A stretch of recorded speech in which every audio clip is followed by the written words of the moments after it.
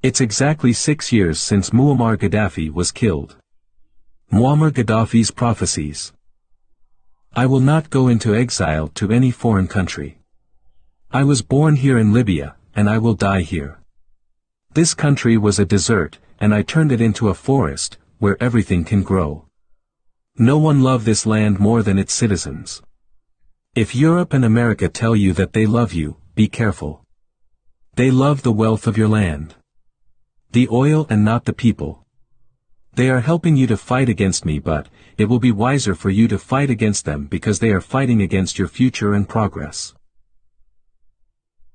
My message to you the people of Libya is, they are helping you to kill me but you will pay the price because you will suffer. And my message to you America and Europe is, you will kill me, but be ready to fight a never-ending terrorism. Before you realize your ignorance, terrorists will be hitting you at your doorstep.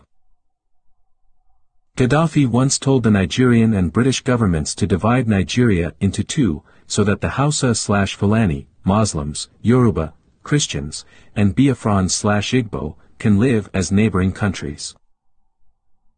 It's good we look at these 16 real reasons why Colonel Gaddafi was killed. 1. There is no electricity bill in Libya, electricity is free for all its citizens.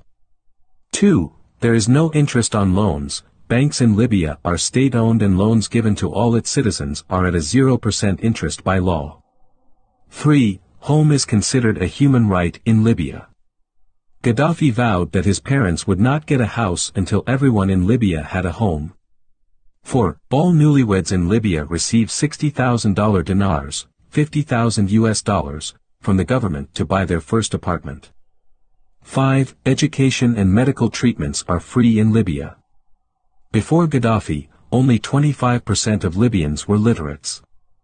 Today, the figure stands at 83%. 6. Libyans taking up farming as a career, they received farmland, a farming house, equipment, seeds and livestock to kick start their farms,